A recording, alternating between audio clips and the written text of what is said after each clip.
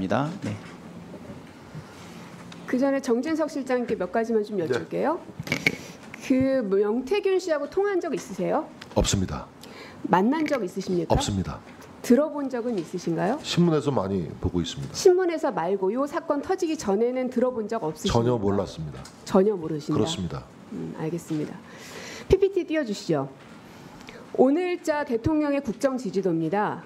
결국은 이런 날이 오고야 말았어요. 19%가 나왔고 17%가 나왔습니다. 비서실장으로서 어떤 답변 주시겠습니까? 뭐 어, 부족한 점이 많다고 생각하고 어, 대통령을 지근거리에서 보필하는 사람으로서 어, 너무 송구하다는 말씀도 드리고 부족한 부분을 채우기 위해서 더 배전의 노력을 기울였다는 다짐을 드리겠습니다. 송 구하다는 그 마음을 대통령께서는 갖고 계십니까? 매일같이 보실 테니까 누구보다 잘 아시잖아요. 국민들의 의견 또 어, 구체적인 음, 정책들이 어떻게 에, 국민 속으로 스며드는지를 어, 정교하게 체크하고 계시고 그런 면에서 여론을 잘 살피고 계시다고 생각합니다. 정교하게 체크하고 있고 여론을 잘 살펴보고 계시면 지금 상황에 대해서 아주 심각하게 인지하고 계셔야 될 것 같은데요. 인지는 글쎄요. 하고 있습니까? 심각하다고? 뭐 여론조사 결과에 대해서도 알고 계신다고 생각합니다. 아, 그러니까 이 정도 숫자가 나온 것에 대해서 심각하다고 대통령께서 생각은 하시냐고요. 뭐 이제 반등을 시키기 위해서 저희가 더 노력을 할 테니까요. 좀 지켜봐 주시기 바랍니다. 20%대가 꽤나 오랫동안 있었는데도 심각하게 인지하시지는 않았나 보네요. 뭐 높은 지지도가 물론 아니겠습니다만 어, 다른 나라의 경우에도 서방 국가를 보더라도 직전에 뭐 기시다 총리도 계속 15% 13% 내외였고 뭐 유럽의 정상들도 20%를 넘기는 정상들이 많지 않습니다 사실. 네. 부디 그러나 그러나 부디 높은 지지도가 아니기 때문에 저희들이 심기일전에서 더 노력하겠다는 말씀드리겠습니다. 좀 말을 들으십시오. 들어주세요. 제 질문을. 부디 대통령께서는 방금 실장님이 말씀하신 그 정도의 인식은 아니시기를 바랍니다. 국민들이 이런 여론조사의 숫자를 보내, 보내고 있는 것은 꽤나 오래 됐거든요. 근데도 그 이 빨간불을 대통령께서 아직도 모르신다고 생각하고 싶지 않아요. 저는 실장님께서 잘못 답변하신 거로 믿겠습니다. 그리고 갑자기 정치인이 돼서 좀 미숙한 부분들이 있으시다 이런 말씀도 아까부터 계속 하셨고 또 공관위에서 나한테 이거 들고 왔길래라고 대, 대통령께서는 답변하셨는데 그러니까 녹취록에서 말씀하셨는데 대통령실은 보고를 받은 적이 없다라고 대응을 하셨어요. 저는 이거 보면서 무슨 생각 들었냐면 야 대통령님 너무 안 되셨다. 어찌 대통령을 방패 대통령 앞에서 내가 방패막이가 되어야지 하는 참모가 이렇게 하나도 없습니까? 다들 대통령을 방패막으로 만들고 다 그 뒤에 숨어 계신 것 같아요. 그렇게 생각 안 하십니까? 대통령의 말을 이렇게 바보로 만들어요?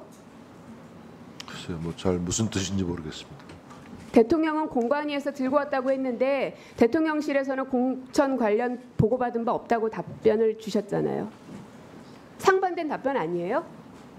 저는 그렇게 알고 있습니다. 제가 아는 대로 답변을 뭐가 드린 맞는 겁니다. 겁니까? 대통령 말이 맞는 겁니까? 대통령실 말이 맞는 겁니까? 저희가 뭘 따라가야 돼요? 공천 관리 책임을 졌던 윤상현 의원이 그렇게 밝히고 있지 않습니까? 대통령에게 보고 드린 바 없고 지시를 아, 받은 바도. 없다. 그러면 저희는 이제부터 대통령의 말은 거짓말이고 대통령실의 말을 참으로 알아듣고 하겠습니다. 그럼 되는 거죠? 뭐 그건 뭐유 의원님의 선택에 달린 문제겠죠. 이래서 대통령님이 안 됐다는 겁니다. 어, 신용환 씨에게 묻겠습니다. 네. 네.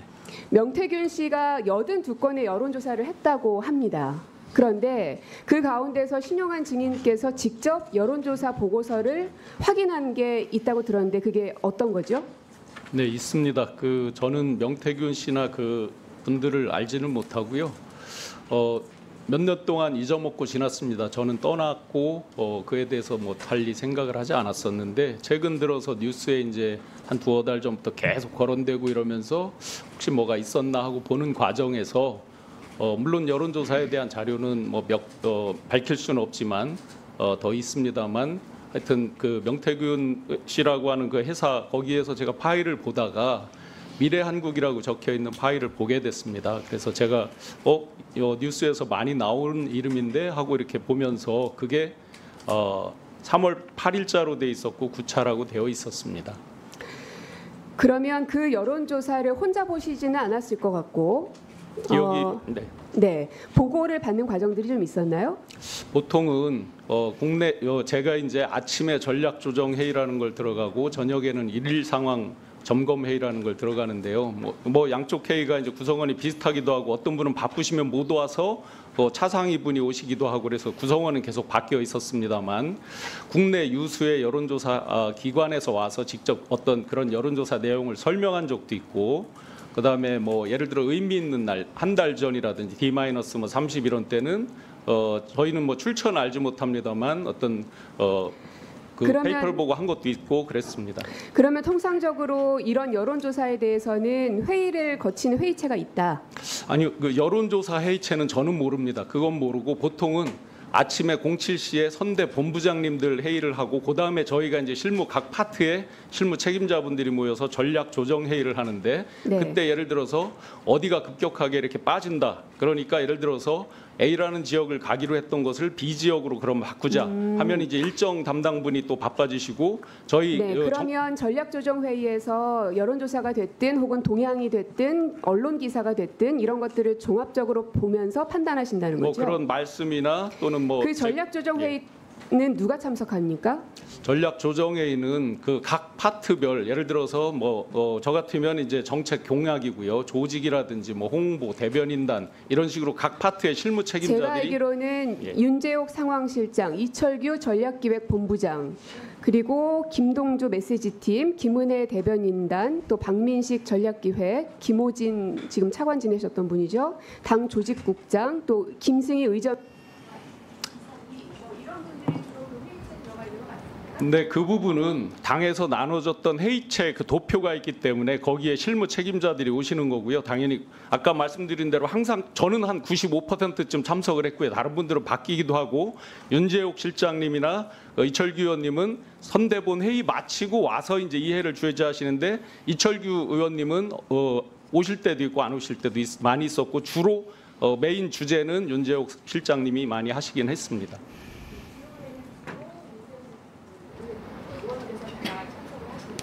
예. 알겠습니다. 이따가 추가 질문하겠습니다. 예, 수고하셨습니다. 네.